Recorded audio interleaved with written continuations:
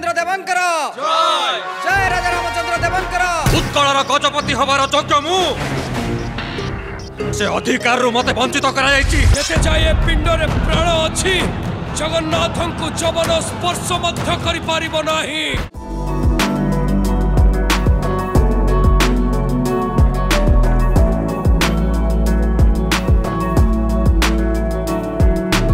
ରାଜ୍ୟ ବାହାରେ ପ୍ରଥମ ଥର ପାଇଁ ପ୍ରଦର୍ଶିତ ହେବ ବହୁ ଚର୍ଚ୍ଚିତ ଐତିହାସିକ ନାଟକ ଆହେ ନୀଳ ଶୈଳ।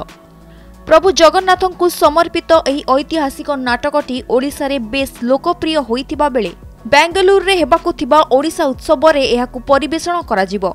ରବୀନ୍ଦ୍ର କଳାକ୍ଷେତ୍ରରେ ଆସନ୍ତା ଚଉଦ ତାରିଖ ସନ୍ଧ୍ୟା ଛଅଟା ତିରିଶରେ ପରିବେଷଣ କରାଯିବ ବୋଲି କହିଛନ୍ତି ସମ୍ବାଦ ଗ୍ରୁପର କାର୍ଯ୍ୟନିର୍ବାହୀ ନିର୍ଦ୍ଦେଶିକା ତନୟା ପଟ୍ଟନାୟକ।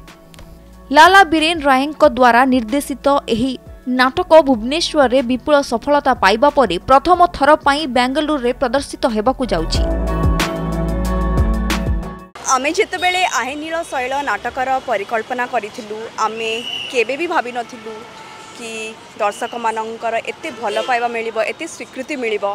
ଆଉ ଏତେ ଅଭୂତପୂର୍ବ ସଫଳତା ମିଳିବ ଏଇ ନାଟକକୁ। ଅ, ଗତ ଗୋଟେ ବର୍ଷ ଭିତରେ ଆମେ ଆଠ ଥର ଓଡ଼ିଶା ଭିତରେ ଭୁବନେଶ୍ୱରରେ ନାଟକ ମଞ୍ଚସ୍ଥ କରିସାରିଛୁ ଏଥର ନବମ ଥର ଆମେ ବାଙ୍ଗାଲୋରରେ ଡିପାର୍ଟମେଣ୍ଟ ଅଫ୍ କଲଚର ଗୋଟେ ଓଡ଼ି- ଓଡ଼ିଶା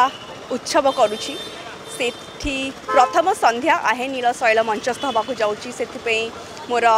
ଅମ୍, ବିନମ୍ର ଅନୁରୋଧ ଓଡ଼ିଆରେ ଅ, ବାଙ୍ଗାଲୋରରେ ରହୁଥିବା ସବୁ ଓଡ଼ିଆ ଭାଇ ଭଉଣୀମାନଙ୍କୁ କି ସେ ତାଙ୍କ ପରିବାର ସହ ଆହେ ନୀଳ ଶୈଳ ନାଟକ ଦେଖିବା ପାଇଁ ଆସନ୍ତୁ ଆହେ ନୀଳ ଶୈଳ ନାଟକର କେନ୍ଦ୍ର ତାର ଆତ୍ମା ହେଉଛନ୍ତି ମହାପ୍ରଭୁ ଶ୍ରୀ ଜଗନ୍ନାଥ ସବୁ ଓଡ଼ିଆଙ୍କର ଜଗନ୍ନାଥଙ୍କ ସାଙ୍ଗରେ ସାଙ୍ଗରେ ଗୋଟେ ଉମ୍, ବିଶେଷ ସମ୍ପର୍କ ରହିଛି ତ ମୁଁ ସମସ୍ତଙ୍କୁ ଅନୁରୋଧ କରୁଛି ଆପଣ ଆସନ୍ତୁ ଅକ୍ଟୋବର ଚଉଦ ତାରିଖ ସନ୍ଧ୍ୟା ସାଢ଼େ ଛଅଟା ବେଳେ ରବୀନ୍ଦ୍ର କଲା କ୍ଷେତ୍ର ବାଙ୍ଗାଲୋରରେ ଆହେ ନୀଳ ଶୈଳ ନାଟକ ଆପଣଙ୍କ ପରିବାର ସହ ଦେଖନ୍ତୁ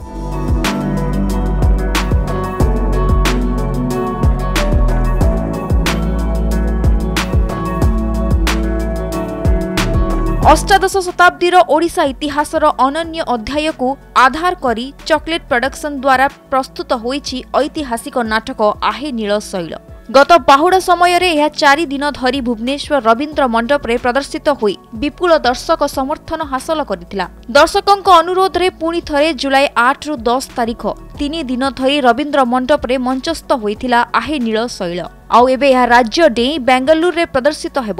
ଏବଂ ସେଠାରେ ଜଗନ୍ନାଥ ପ୍ରେମୀଙ୍କୁ ତଲ୍ଲୀନ କରିବ ବ୍ୟୁରୋ ରିପୋର୍ଟ ସମ୍ବାଦ ଡିଜିଟାଲ